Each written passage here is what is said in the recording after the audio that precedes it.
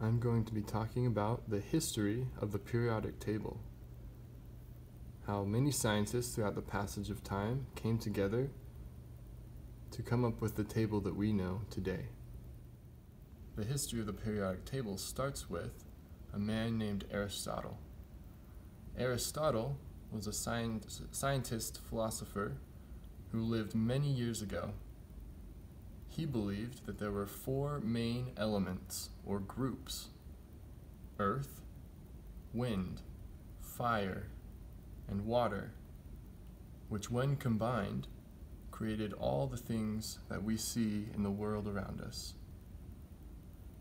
This was based on his limited knowledge of science and his lack of understanding of atoms and elements and smaller molecules than what the eye could see. His theories would later, many years later, be debunked when the discovery of elements occurred.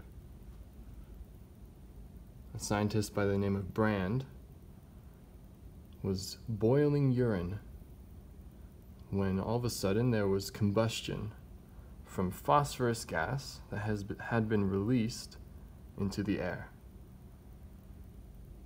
Another scientist by the name of Boyle also around the same period as Brand, found the same discovery, and the element of phosphorus was found.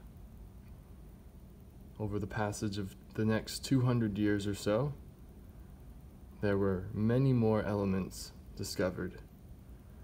With the discovery of these new elements, a new way of classifying and organizing these elements was in order.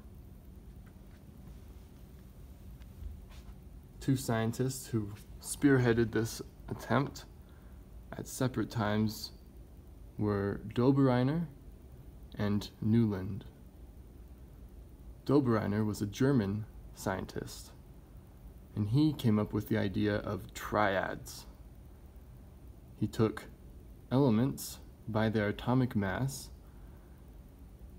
and found that if you take one element add it to a heavier element, and divided it by 2, it came out to be the atomic mass of a third element in between them.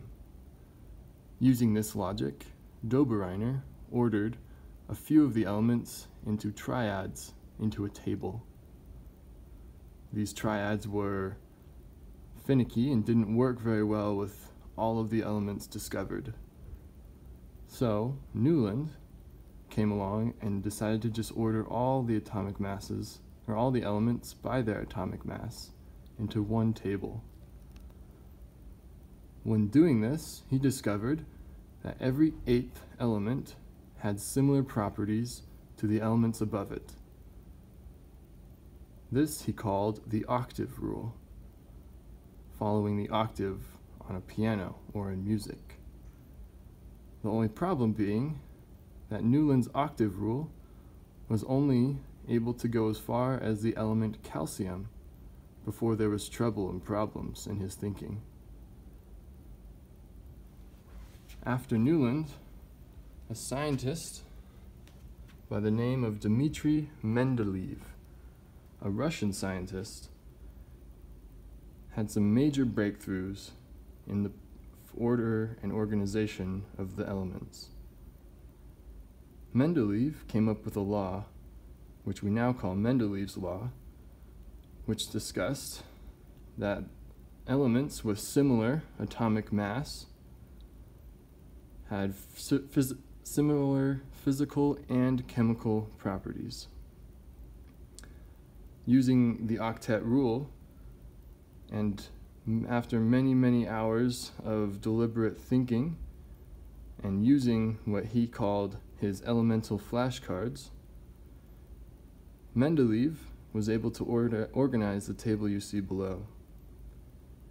He had seven periods in his table, making up the rows, and eight groups, making up the columns. There were a few problems with Mendeleev's ideas he did not know what to do with hydrogen because it acted similar to other elements but didn't fit in other parts. He also had some elements which were out of position, ordered backwards, and some elements which did not match the properties of others in their group. But the genius behind Mendeleev's periodic table was that he left room for growth. Mendeleev saw that there were spaces and holes in his table and in his thinking, elements which hadn't been discovered yet. He even made predictions for these elements, which would later be proved to be true. Mendeleev was one of the greatest contributors to the modern periodic table that we have today.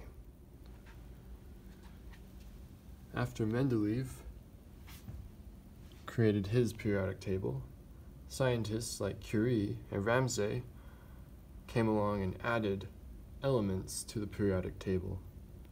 Curie worked on radioactive elements such as uranium and added a few elements that were radioactive. Ramsay came along and added the noble gases to Mendeleev's table. Following Curie and Ramsay, scientists like Moseley and Seaborg further altered the table.